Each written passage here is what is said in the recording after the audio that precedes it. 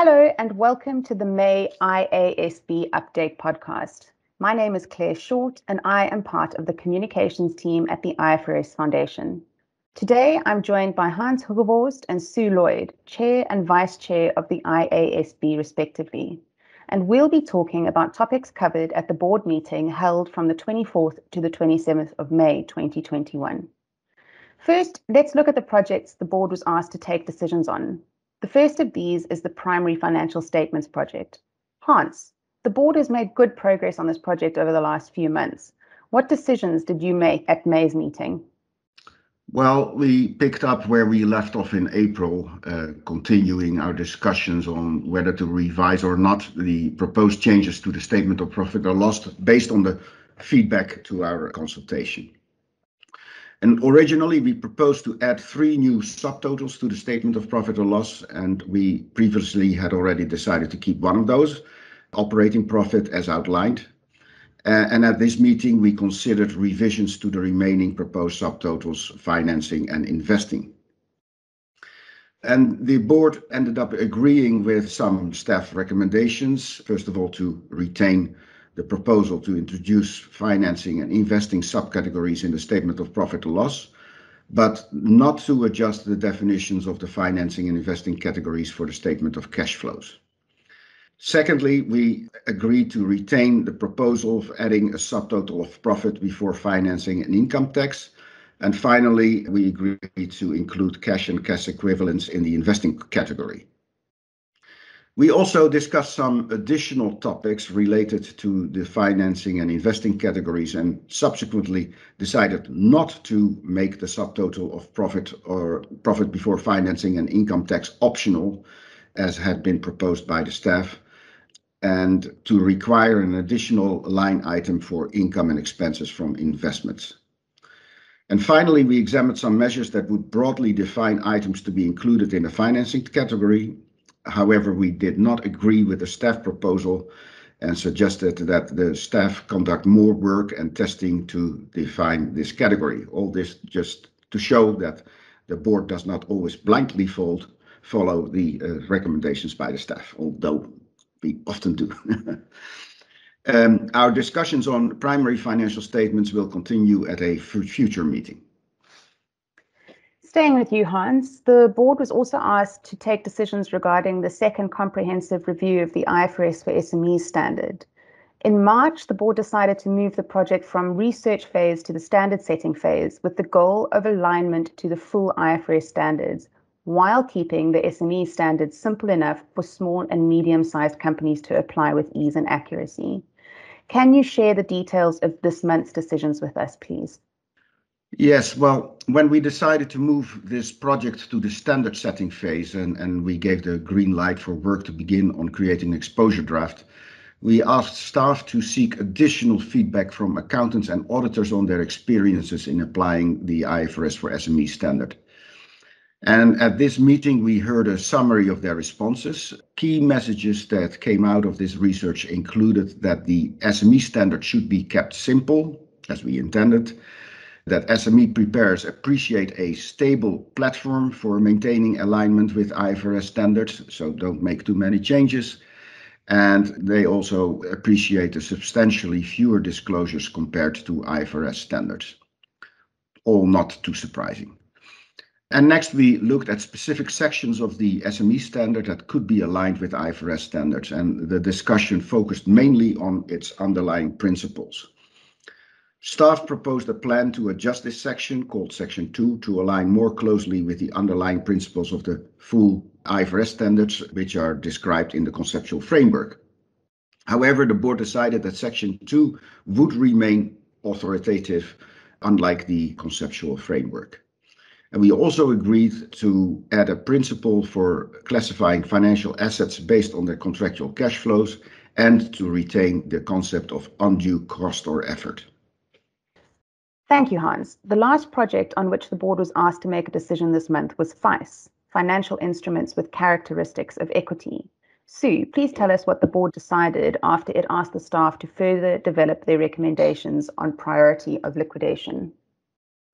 Sure. So this month, the staff came back to the board with some revisions following the discussion that we had last month, and the board made decisions on two points. And just to be clear, given where we're at in the deliberations, these new proposals would ultimately be put out for comment um, in a in another exposure draft. But but what we decided was um, two things. Firstly, that companies would be required to disclose differences in priority for their financial instruments, and this is all financial instruments within the scope of IAS 32, and also that there should be disclosure for the financial instruments of the terms and conditions of the instruments that affect the priority in liquidation. And just to point out something here, people might remember that in our discussion paper, we had proposed a um, disclosure on priority in liquidation. And quite a few came back and sort of said, this idea of liquidation of a group of companies is, is a bit artificial because it's individual companies that go into liquidation, not groups of companies. And so what we're looking at here is a relatively um, simplistic analysis. We're not asking people to think about the sort of structural subordination caused by groups. We're also not asking companies to sort of analyse the likely effect of actions of bankruptcy courts or the operation of law. All we're doing is saying, based on the terms in your financial instruments, is there contractual subordination? Is there security? So it's, it's a relatively simplified type of analysis, and we're going to try to make that clear when we ultimately do put this out for comment. Thanks, Sue. The board also continued its discussions on feedback received to its goodwill and impairment and lease liability projects. Hans, can you summarize what the board heard on the first of these? That's goodwill and impairment.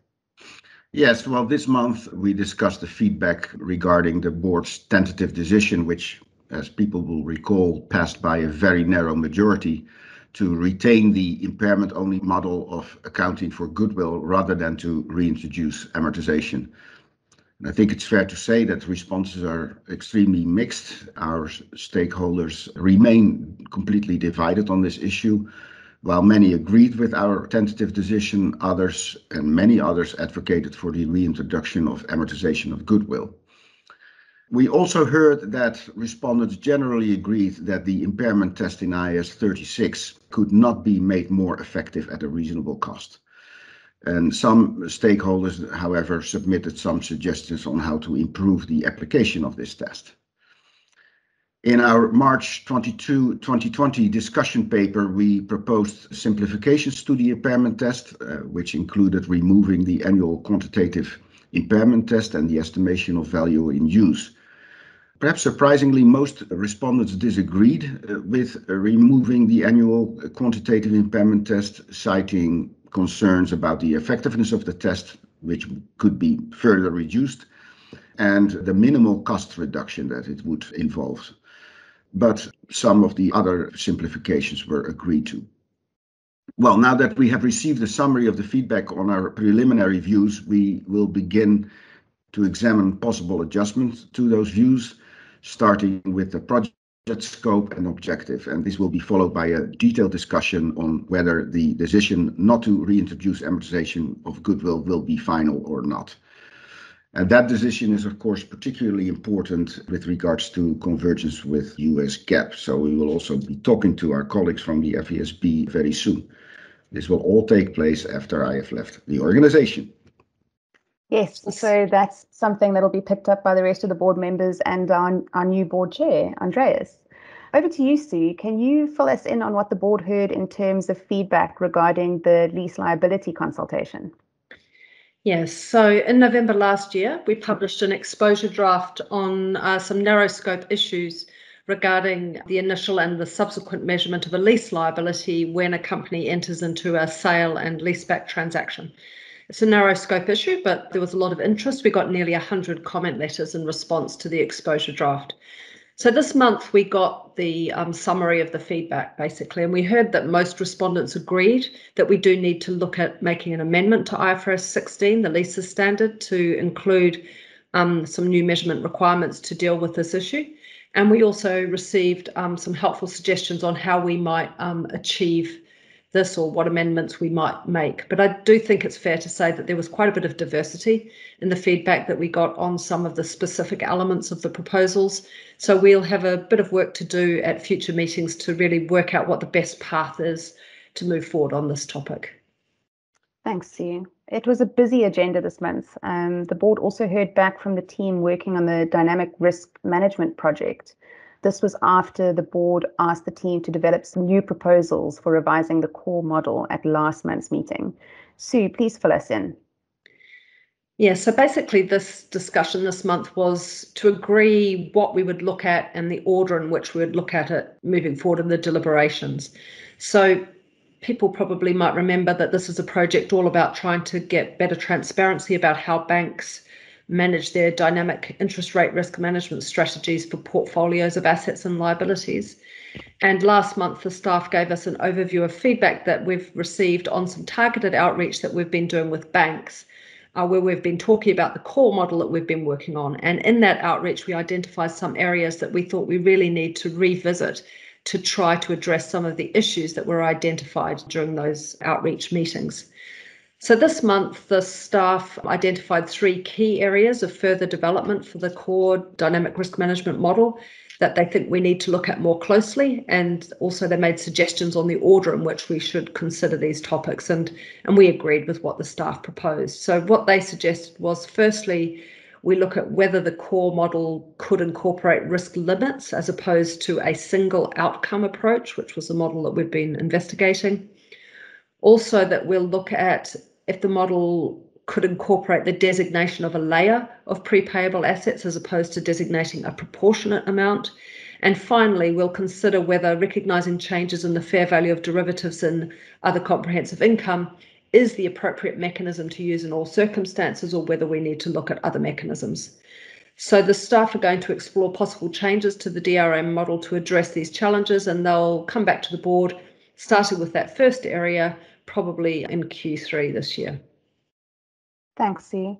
Staying with you, the board also discussed IFRS 17, which is our insurance standard. And can you catch us up on the details around that? So, insurers are going to start applying IFRS 17 the, for their 2023 financial statements. And we know that many of the insurance companies have taken up the option that we've given them to wait to apply IFRS 9, the new financial instrument standard, until 2023 as well, so that they can apply those two new standards at the same time. And the issue that we were looking at at the board meeting this week is related to the comparative information that arises if you apply both 17 and 9 at the same time because of differences in the approach to transition and comparatives in those two standards. So, in particular, if an insurer starts to apply both IFRS 17 and IFRS 9 in 2023, then in their comparative financial statements, if they choose to restate the comparatives for IFRS 9, then in some cases, because IFRS 9 isn't applied to financial assets that get de-recognized before 2023, accounting mismatches can arise because of the old IAS 39 accounting that's being used for those de-recognized assets. Now, now that insurers are getting advanced in their implementation in preparation for applying those two standards, they've got a better idea of the magnitude of the mismatches that could arise because of those differences in treatment. And it's turned out to be quite big for some of the insurance companies. But I should point out that it's not an issue for all of the insurance companies. For example, those who are already um, measuring their insurance contracts on a current value basis. And also, it's a pretty focused issue that applies just for that short period of time in the comparative financial statements. So it's a big deal for some, but I'm just trying to put it a bit in context. So at this month's meeting, we discussed whether the board should and can help the insurers and in turn their investors by making a change to improve the information that the insurers would present in the comparatives by giving them a targeted amendment that would address this mismatch issue and result in information being provided in the comparative financial statements that would look more like it will once IFRS 9 is applied in full from 2023 financial statements. Now, when we discussed this, we did sort of comment on the fact that we need to be careful. Insurers are already well advanced in implementing these standards, and we have to make sure that by introducing changes at this late stage that we don't inadvertently disrupt implementation for some while helping others and also that there aren't bigger consequences of this issue than we intend. So it's, you know, it, it's tricky to get the scope of it right. So we had an initial discussion at the May meeting. We weren't asked to make any decisions at the May meeting, but rather to discuss the idea and the things that we want the staff to think about. And the plan is that at a future meeting, the board will vote on whether we should propose a narrow scope amendment to IFRS 17 and what the exact parameters for that would be. But really, the focus that we ask the staff to look at is on enabling insurers to apply IAS 39 to these financial assets, which is the case now, but to introduce an overlay that would address accounting mismatches that arise in this comparative period. And we're not looking at changing IFRS 9 in any way at all or changing the overall approach to transition, just dealing with this mismatch issue with an adjustment really to the accounting to IAS 39 for some of these financial assets. Thanks, Sue. Before we wrap up, the board heard an update from the discussions at the recent interpretations committee meeting.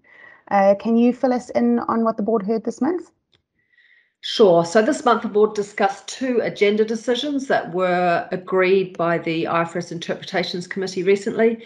The first was about IAS 19, the employee benefit standard, about attributing benefit to periods of service. And the second was a hedge accounting question to do with hedging variability in cash flows due to real interest rates, applying IFRS 9. So basically, the board was updated on the discussions of the committee and we reviewed the agenda decisions. So these finalised agenda decisions have now been published in an addendum to the April IFRIC update. That's available on our website now, dated May. And so if you are interested in the work of the Interpretations Committee, I would encourage you to listen to our quarterly IFRIC podcast that I record with my colleague Patrina Buchanan. Uh, the first episode for the year is available on our website now. It's on YouTube and various podcast players. The next episode, covering the second quarter of 2021, will be available in July. It's good stuff. Claire, I know you've got a dog. Maybe you could listen to our podcast while you're walking your dog. Absolutely. I really do enjoy the IFRIC podcast. I find it really interesting. But that wraps up our discussions from the May board meeting. Thank you, Hans and Sue, for joining me today. Next month will be Hans's last podcast with us as he steps down as the chair of the International Accounting Standards Board at the end of June. But to mark the occasion, we'll be chatting to him and reflecting on his 10 years at the helm. Before we say goodbye, there are a couple of other developments from the past month to bring your attention to. First, we published the long awaited management commentary consultation in the last week of May. We're looking for comments from stakeholders on our proposed comprehensive framework for companies preparing management commentaries that are aligned with investors' information needs. You can visit ifrs.org for more information on this consultation. Then, if you're listening to this as it's released, you still have a day or two to register for the annual IFRS conference, which will be held virtually on the 3rd and 4th of June. Again, you can visit our website, ifrs.org, for more information. And that brings us to the end of another episode of the IASB Update podcast. You will find all past episodes of this and our other podcasts, including the IFRIC podcast, on our website, on YouTube, on Spotify, and your podcast player. If you have any comments or suggestions for the podcast itself, please email me on communications at ifrs.org. Until next time, keep well.